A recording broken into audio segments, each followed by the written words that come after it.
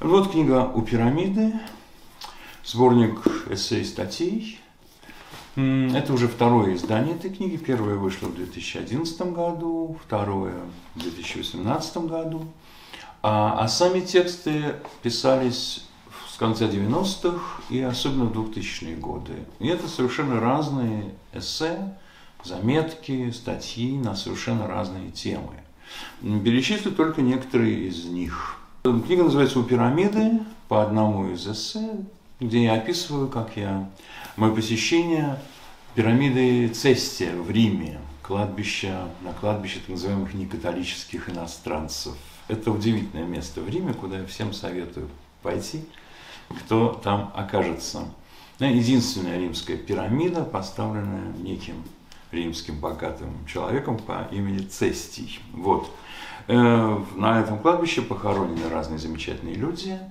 Великий английский поэт и романтики Шилли Китс, Вячеслав Иванов, например, из русских, чтобы говорить о близких нам людях и так далее. В общем, с этим связаны разные вещи, о которых я здесь пишу. А, ну, не только, конечно, об этом, я описываю там одно стихотворение Томаса Гарди, собственно, от него отталкиваюсь, об этом рассуждаю. Другие персонажи этой книги, если можно их назвать персонажами, например, здесь есть большое эссе о моей любимой писательнице Маргарите Юрсенар, которая, мне кажется, в России недостаточно воспринята в том качестве великой, просто великой писательницы 20 века, каковой она, безусловно, являлась. Мне кажется, в России до сих пор этого как-то не вполне, это как-то не вполне понято, о чем я очень жалею. Потом здесь довольно много я пишу о тоже моем любимом поэте Владиславе Фелициановиче Ходосевиче. Здесь есть большое эссе о его стихотворении «Обезьяна».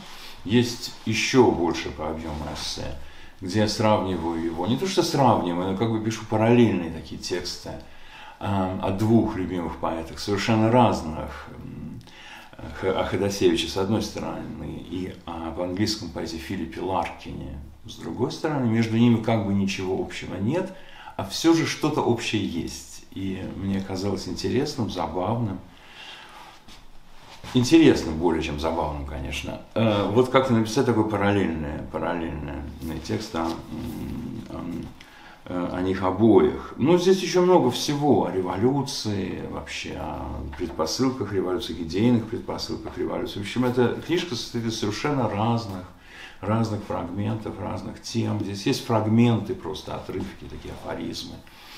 Вот. Есть большое эссе, оно заканчивается, это здесь самый большой текст, может быть, текст, который называется «Три дня в Ельце», о том, как я в 2007 году ездил в этот славный город Елец, такой настоящий истинно русский город, в поисках следов э, Советской Республики, которая была в Ельце в 1918 году, о которой сохранилось не так много сведений, э, но некоторые сведения есть в замечательных дневниках Пришвина, теперь издающихся. Не только, кстати, в России издающихся, но и в Германии, например. Эти дневники сейчас переводят и издают. Вот. А вместе с тем Елес – это город, конечно, связанный с Буниным. Э, ну и так далее, и так далее. То есть это такое описание, описание вот моего там пребывания, моих, моих там трех дней.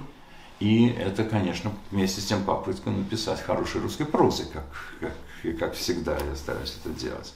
Ну вот, собственно, что я хотел бы сказать об этой книжке. Я очень ее сам ценю, люблю, надеюсь вернуться к эссеистике. Конечно, эссеистика никогда так не привлекает читателя, как привлекает роман, там, допустим, да, или художественный вымысел.